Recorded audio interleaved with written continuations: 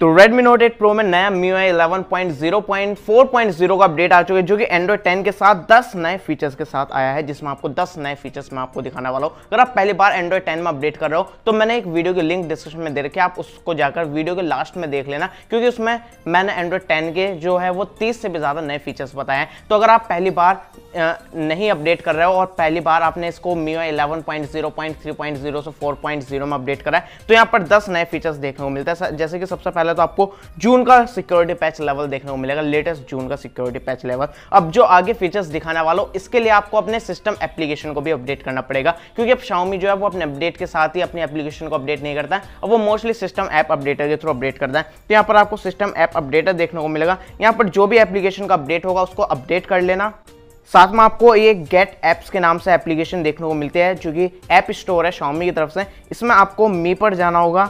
और मी पर जाने के बाद यहाँ पर आपको दिखेगा ऐप अपडेटर तो यहाँ पर जितने भी सिस्टम ऐप है, उनको अपडेट कर लेना। जैसे कि गैलरी एप्लीकेशन का जो है, वो ना तो आपको सिस्टम अपडेट में अपडेट देखने को मिलेगा, ना ही सिस्टम ऐप अपडेटर में, या आपको गेट ऐप्स में अपडेट देखने को मिला था तो इसको यहाँ से अपडेट कर लेना। अब जो आगे फीचर्स दिखाने वालों इसके बाद ये आपको देखने को मिलेंगे। तो जो जो स्टेप्स बताए, वो फॉलो कर लेना।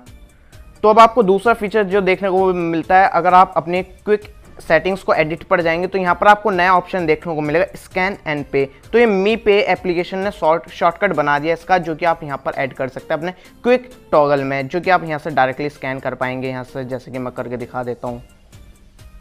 और साथ में आपको इसका जो मी पे एप्लीकेशन है, उसमें भी आपको बहुत सारे नए फीचर्स देखने को मिलेंगे, थोड़ा नया यूआई आपको देखने को मिलेगा तो आप इसको भी एक बार ट्राई कर सकते हैं।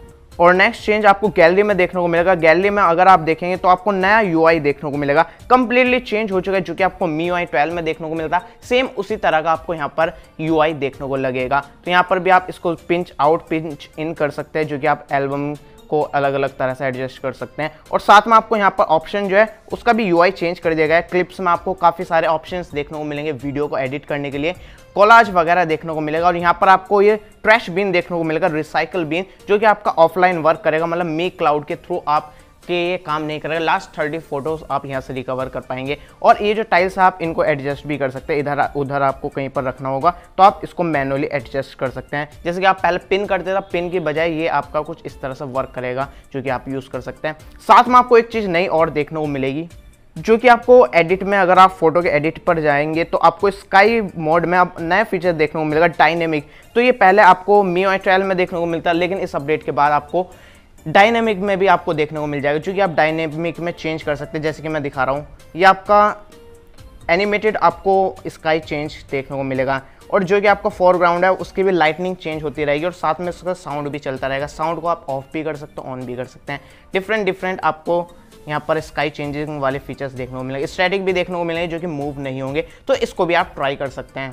और नेक्स्ट चेंज की बात करूँ तो यहाँ पर अब आपको जो ब्राउज़र था, अब उसका नाम चेंज कर करके मी ब्राउज़र कर दिया, उसको लोगो भी चेंज कर दिया है। तो अभी आपका मी ब्राउज़र देखने को मिलेगा, जो कि आपका दिखने में अंदर वैसे ही रहेगा, जैसे कि आपको पता है, घटिया सा और बेकार सा यहाँ पर रहेगा। तो आपको ये वही यूआई देखने को मिलेगा, बस आइकन और नाम चेंज कर दिया, काम वही है इसका। और यहाँ पर आपको रिकमेंडेड जो आते थे, उसको यहाँ पर आप ऑफ़ भी कर सकते हैं, अगर आपको वो चीज़ें पसंद नहीं है। ये मैंने आपको ट्रिप टिप बता दिया ऐसी।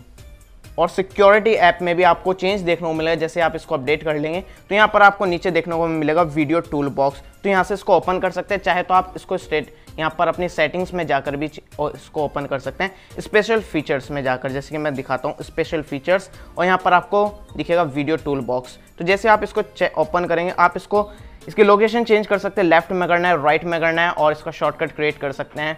और यहाँ पर आपको दिखेगा मैनेज वीडियो ऐप्स जो कि आपके वीडियो ऐप है, जिस, जो कि आपके वीडियो प्लेयर्स हैं, उनको सेलेक्ट कर सकते हैं। अब इससे क्या होगा, आप जब भी यूट्यूब यूज़ करेंगे तो ये आपके यूट्यूब में वर्क करेगा। जैसे कि मैं यहाँ पर आपको एक वीडियो चला दिखाता हूँ।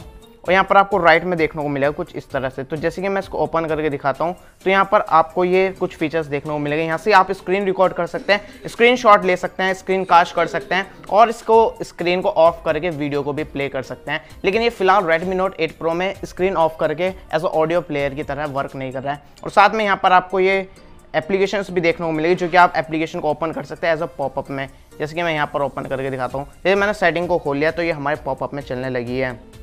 और आपको सेटिंग्स में भी काफ़ी सारे नए चेंजेस देखने को मिलेंगे। अगर आपने पहली बार एंड्रॉयड 10 में अपडेट करा है तो। लेकिन यहाँ पर कुछ एप्लीकेशन अलग सॉरी आपको कुछ सेटिंग्स जो है वो अलग से ऐड करी गई है, जो कि मैं आपको दिखा देता हूँ। जैसे कि यहाँ पर आपको दिखाता हूँ तो नेटवर्क एंड शेयरिंग में आप जाएँगे तो यहाँ पर आपको प्राइवेट डीएनएस का एक नया ऑप्शन देखने को मिलेगा, जो कि आप यूज़ कर सकते हैं। ज़्यादा मैंने इसको चेक नहीं करा, इसका वर्क क्या है, लेकिन ये आपको नया ऑप्शन देखने को मिलता है। इसके अलावा बहुत सारे सेटिंग्स में नए ऑप्शन ऐड करे गए हैं तो लिंक डिस्क्रिप्शन मिल जाएगी, वो वीडियो ध्यान से जाकर देख लेना। और वीडियो पसंद आ रही है तो उसको लाइक कर देना।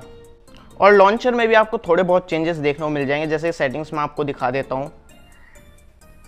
तो यहाँ पर आप देखें, यहाँ पर ऐप ड्रॉवर का जो है वो कुछ लाइट्स आपको देखने को मिल रहा है, लेकिन ये पहले नहीं देखने को मिलता था इसके ऐप ड्रॉवर की सेटिंग्स आप तभी ऑन कर पाते जब आप इसको यहाँ से ऐप ड्रॉवर को ऑन करते थे। लेकिन आपको ये डायरेक्टली यहाँ पर इस तरह से दिखाता है, लेकिन वो तो कुछ है नहीं। लेकिन ऐप ड्रॉवर में भी आप, आपको काफ़ी सारे ऑप्शंस देखने को मिल जाएँगे जो कि आपको बेसिक है। यहाँ पर आप ऐप कैटेगरीज को भी ऐड कर सकते हैं कस्टमाइज वगैरह कर सकते हैं और आपको ये डायरेक्टली इस अपडेट में देखने को मिल जाएगा अगर आपने अभी तक अपडेट नहीं करा था। बैकग्राउंड चेंज कर सकते हैं ऐप ड्रॉवर का स्क्रोल बार को भी एडजस्ट कर सकते हैं। आइकन साइज़ वगैरह भी यहाँ पर आप चेंज कर सकते हैं। तो ये कुछ इस तरह का आपको देखने को मिलता है। और कैमरा चेंजेस की बात करूँ तो कैमरे में खैर ऐसा कुछ स्पेशल ऐड नहीं करा गया, लेकिन अगर आपने पहली बार एंड्रॉइड टेन में अपडेट करा तो काफ़ी सारे फीचर्स देखने को मिल जाएँगे। जैसे कि मैंने आपको बताया वीडियो की लिंक आपको डिस्क्रिप्शन मिल जाएगी, वहाँ पर चेक कर सकते हैं। जैसे कि यहाँ से आप आप एक्सपोजर को भी एडजस्ट कर सकते हैं प्रो मोड में, और यहाँ पर पीक वगैरह यहाँ पर भी काफ़ी सारे ऑप्शन ऐड करे गए हैं, जो कि आप चेक कर सकते हैं। तो काफ़ी सारे फीचर्स है, लेकिन इस अपडेट में कुछ खास नया ऐड नहीं करा गया है।